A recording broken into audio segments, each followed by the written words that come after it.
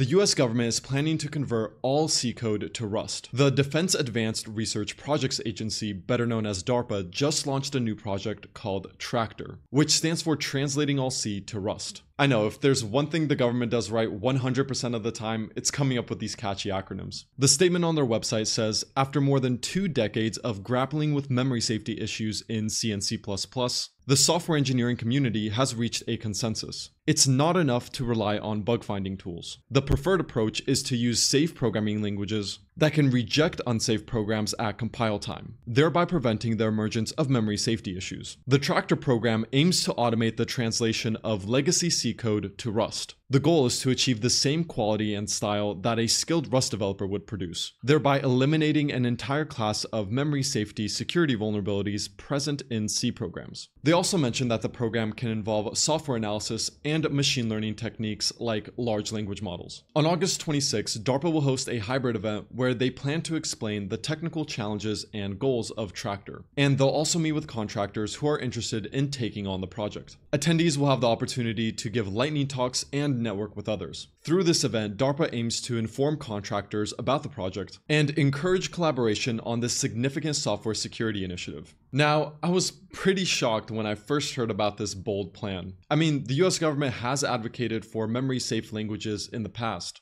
and even mentioned Rust as a memory safe alternative to other low level languages like C and C++.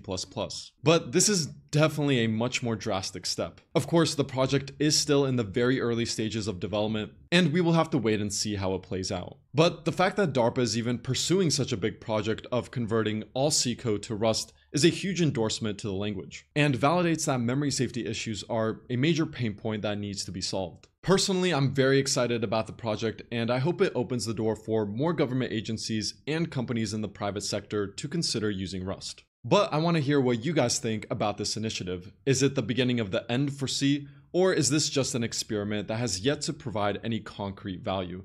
Let me know in the comments section below. And if you want to become a Rust developer, make sure to get your free 4-day training at letsgetrusty.com slash bootcamp. Hope you've enjoyed the video and remember to stay rusty.